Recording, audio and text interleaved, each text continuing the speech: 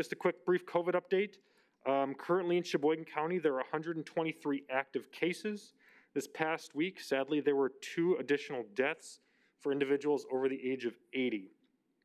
Currently, there are only three people in the hospital, and our activity level in the county has seen a 55% decrease in our, for, from our burden rate. However, this is still a high number, and we keep encouraging folks, folks to wear masks and socially distance.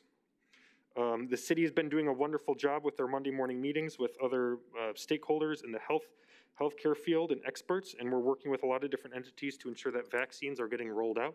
And my encouragement to all citizens that are eligible, please look on the public health's website to schedule an appointment. I have my second COVID shot tomorrow, um, so I'm looking forward to getting that over with.